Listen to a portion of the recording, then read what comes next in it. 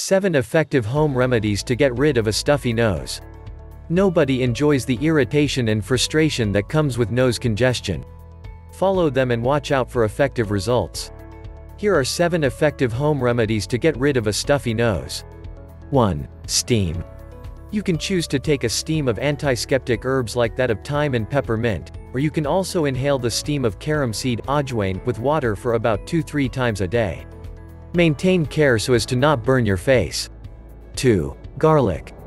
You can prepare a garlic soup by crushing 2 to 3 garlic cloves in boiling water, or just have an entire clove as it is. Take garlic cloves at least 2 times a day for a quick relief from stuffy nose. 3. Onion.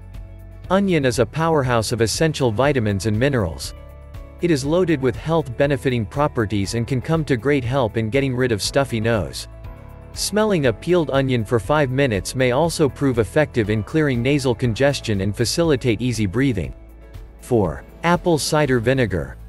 Mix 2 teaspoons of cider vinegar with a cup of warm water and consume it at least 3 times a day. You can also add a tablespoon of honey to the solution if you like. This should provide an effective relief from a congested nose and other sinus-related problems. 5. Lemon. This pungent treatment can treat that nasty blocked nose. Mix 2 tablespoons of lemon juice and about half a teaspoon of black pepper powder with a bit of salt and apply this mixture onto your nose, leave it on for few minutes and watch the magic. 6. Tomato juice. Grab a mug of tomato juice and add about a tablespoon of garlic and a teaspoon of salt to it. Drink this juice at least twice a day for easing your clogged nose. Tomatoes have properties that can not only reduce the inflammation in your nasal passage, but also open up your sinuses. 7. Honey. Honey is a powerhouse of nutrients.